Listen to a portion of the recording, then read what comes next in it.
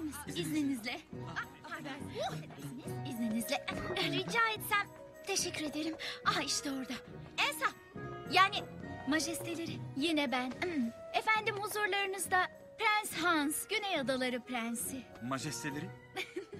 Sizden Sizden rica, rica- yani yüksek müsaadenizle Şey, biz, Biz evleniyoruz. evleniyoruz. Evlenmek mi? Evet. Affedersiniz şaşırdım da. Şey biz daha tüm ayrıntıları konuşmadık. Töreni planlamak için birkaç gün yeter. Menüde çorba, rosto ve dondurma olmalı. Sonra dur burada yaşayalım mı? Yaşamak mı? öyle mutlu olurum ki. Ana. Aa, 12 erkek kardeşini davet ederiz. Dur, Gelip ne? bizimle Yo, kalırlar. yo, yo, yo, Yeterince yo. odamız var. Acaba Dur bazıları dedim. için. Sakin ol. Burada kimsenin kardeşi kalmayacak ve kimse de evlenmeyecek. Ne? Nasıl? Konuşabilir miyiz lütfen? Yalnız. Hayır. Her ne söyleyeceksen bunu ikimize de söyleyebilirsin. Olur.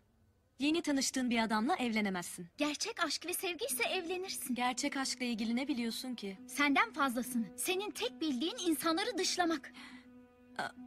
Benden müsaade istediniz ve cevabım hayır. Şimdi izninizle. Majesteleri söylemek istediğim... Hayır duymak istemiyorum. Artık gidin lütfen. Parti sona erdi. Geçidi kapatın. Emredersiniz majesteleri. Elsa hayır. Hayır dur. Eldivenimi geri ver. Elsa lütfen. Lütfen. Artık böyle yaşayamıyorum. O zaman git.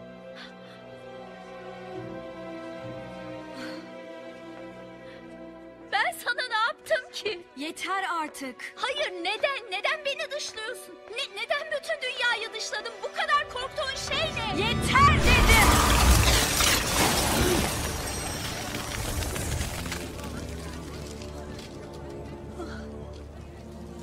Büyücülük. Burada şüpheli bir şeyler döndüğünü biliyordum.